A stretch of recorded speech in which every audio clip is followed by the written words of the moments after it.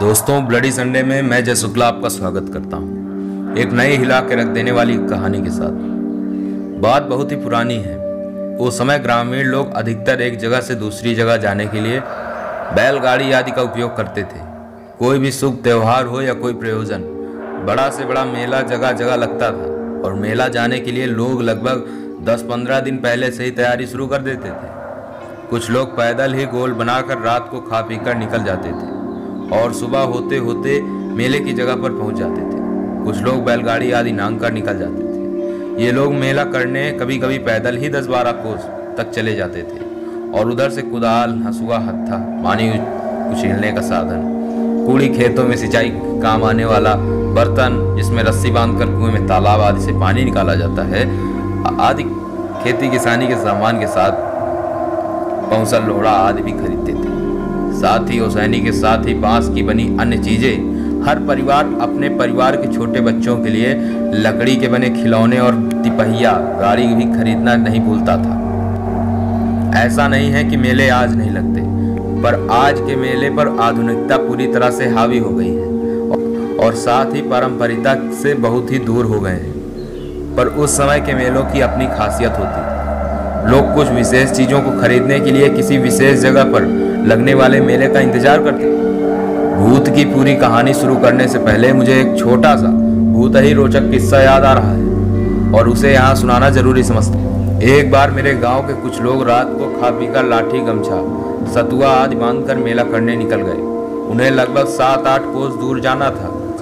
रात का समय और आकाश से चांदनी चकाचौंध कुछ खेत सरसों के पीले फूल से लदे थे और प्रकट की शोभा में चार चाँद लगा रहे थे। मेरे गाँव के लोग तेज़ी से खुरहुरिया रास्ते मेड़ों आदि से होकर तेज़ी से गाते हुए, बतियाते हुए बड़े चले जा रहे थे। रास्ते में एक गढ़ाई पड़ी। वे लोग गढ़ाई पार की पर क्या देखते हैं कि घूम फिर कर फिर से गढ़ाई पर आ जाते हैं? जब दो तीन बार उनके साथ यही घटना घटी तो उन लोगों को आभास हुआ कि उन्हें बुलौना भूत ही बुलवा रहा है। दरअसल, बुलौना भूत के बारे में ऐसा कहा जाता है कि ये लोगों को नुकसान तो नहीं पहुंचाते हैं। पर उन्हें रास्ता भटकाकर परेशान करते हैं। फिर क्या था तभी उस गोल के एक बुज़ुर्ग ने अपनी चुनौती निकाली सुरती बनाया और जय भुलौना बाबा कहकर थोड़ी सी सुरती वहीं चढ़ा दी और, और हनुमान जी का नाम लेकर फिर से आगे बढ़ गए। खैर इस बार वे भुलौना भूत से तो बच गए। खैर मेला जाने वाले इस गोल की समस्या कम होने का नाम नहीं ले रही थी। मेला के रास्ते में एक नदी पड़ती थी और इन दिनों इसमें जांग भरी पानी हुआ करता था। और आसानी से कोई भी गंवाई व्यक्ति इसे पार कर सकता था। पर उस पर उस दिन जब ये लोग नदी के किनारे पहुँचे तो पाट लगभग एक मील तक चौड़ा लग रहा था और उस चांदनी रात में पानी लहरा रहा था। इन लोगों को कुछ समझ में ही नहीं आ रहा था और पास में ही कोई मल्ला या नाव ही नज़र नहीं आ रही थी। ये लोग नदी से दस मीटर पहले ही रुककर सुबह होने के इंतज़ार में वहीं बैठे बैठे ऊँगने लगे। खैर सुबह हुई तो इन लोगों को पता चला कि नदी तो अभी सौ मीटर लगभग दूर है और वैसी ही पतली पतली दिखाई दे रही है। दरअसल नदी के किनारों के खेतों में सरसों के पूरी तरह से फूल कर पसरी हुई थी और हवा के बहने पर सरसों के पीले फूल लहराते थे तो इन्हें नदी का पानी आभास होता था। पर यहाँ भी किसी दूसरे भुलौना भूत ने इनके साथ मज़ाक करके इन्हें भुलवा दिया था। अब इस गोल का हर व्यक्ति सोच रहा था कि अगर रात को ही थोड़ी हिम्मत करके हम लोग आगे बढ़ गए होते। पत, तो पता तो चल जाता कि नदी का पाट न बढ़कर ये सरसों के खेत खैर उस समय भुलौना भूत ऐसी हरकतें करके लोगों को परेशान ही करते रहते थे। तो यह कोई नई बात नहीं थी। खैर सुबह ये लोग फिर से तेज़ी के साथ चलना शुरू की और दोपहर तक एक बड़े बगीचे में पहुँच गए। उस बगीचे में लगभग एक कोस पर एक दूसरा बगीचा भारी था। जिसमें मेला लगता था। पर ज्यों ही वे लोग इस बगीचे में प्रवेश करना शुरू किए, इन्हें बहुत ताज्जुब हुआ, क्योंकि इस बगीचे में भी दुकानें सजना शुरू हो गई थी। इन लोगों को कुछ समझ में नहीं आ रहा था कि क्या करें। खैर, इन्होंने एक दुकानदार से पूछ लिया कि क्या इस साल मेला इसी बगीचे में लगने वाला है? तो उस दुकानदार ने हाँ में सर हिलाकर फिर अपने काम में लग गया। खैर, इस बगीचे में एक छोटा कुआँ था और पास ही देवी का एक छोटा थान भी। यह बगीचा बहुत बड़ा था और लगभग दो तीन कोस का एरिया में फैला हुआ था। दिन में भी अंधेरा का पूरा पूरा साम्राज्य लग रहा था। इन लोगों ने कुएँ पर पहुंचकर दातून आदि किया और आटा आदि सान कर वहीं लिट्टी बनाई और खाकर आराम करने लगे। दरअसल दुकानें सज रही थी और, और मेला शाम को गुलजार हो जाता था। हर दुकानों पर चिराग जल उठते थे और कुछ पेड़ों पर लुकारे मसाले भी जल उठती थी।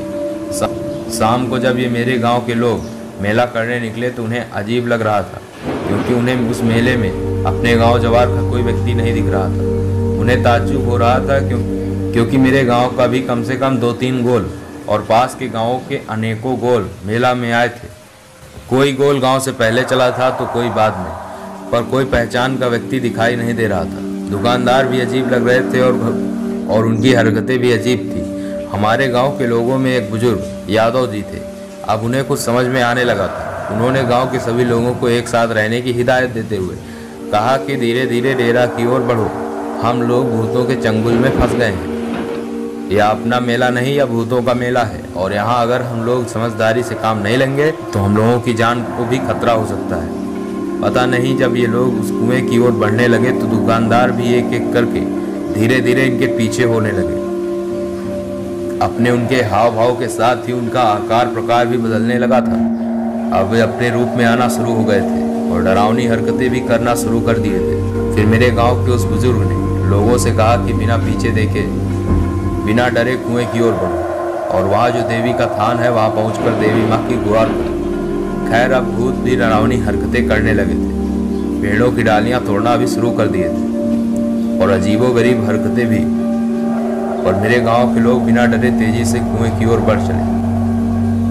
और कुएँ पर पहुँचते ही बने देवी के थान के पास चप्पल आदि निकाल कर देवी को घोराने लगे।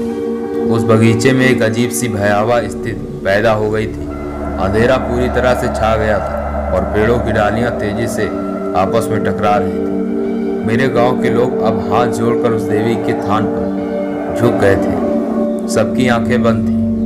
वे बस देवी माँ से अपनी जान की भीख मांग रहे थे। भूत भी आसपास में एकत्र हो गए थे, पर कोई इस स्थान के पास आने की कोशिश नहीं कर रहा था। पर दूर से इन लोगों को डराने में लगे थे। एकाएक एक तेज़ी से आंधी उठी। ऐसा लगा कि पूरे बगीचे में भूचाल आ गया है। कुछ पेड़ों की डालियाँ तेज़ी से आवाज़ करते हुए टूटकर गिर गई। और देखते ही देखते मेरे गाँवों के लोगों के कान में किसी महिला की सुमधुर आवाज़, गुंजायमान हुई। उठो। यहाँ पड़े पड़े क्या कर रहे हो? मेला तो उस बगीचे में लगा है। मैं भी उसी बगीचे में चली गई थी। इसके बाद मेरे गाँव के लोगों ने जान में जान आई। अब बगीचे में शांति पसरी हुई थी। उन्हें कोई नहीं दिखाई दे रहा था। फिर एक अद्भुत रोशनी प्रकट हुई। रोशनी के प्रकट होते ही मेरे गाँव के बुज़ुर्ग ने कहा अपना अपना सामान समेटें और बिना देर किए इस रोशनी के पीछे पीछे निकल पड़ो। फिर मेरे गाँव के लोगों ने अपना सामान समेटा और रोशनी के पीछे पीछे हो लिए। जब वे लोग मेले वाले बगीचे में पहुँचे तो वह रोशनी गायब हो गई। अब मेरे गाँव के लोग राहत की सांस ले रहे थे, क्योंकि लगभग काफ़ी रात हो चुकी थी। और इस बगीचे में मेला भी परवान चढ़ चुका था। जो ही हमारे गाँव का यह गोल मेले में प्रवेश किया, वहीं हरीश खरीदते हुए मेरे गाँव के रमेश्वर बाबा मिल गए। फिर रमेश्वर बाबा मेरे गाँव के इस गोल को लेकर डेरा पर गए। जहाँ मेरे गाँव के अन्य गोल भी आकर ठहरे हुए थे, फिर अपना सामान वहाँ रखकर ये लोग मेला करने निकले।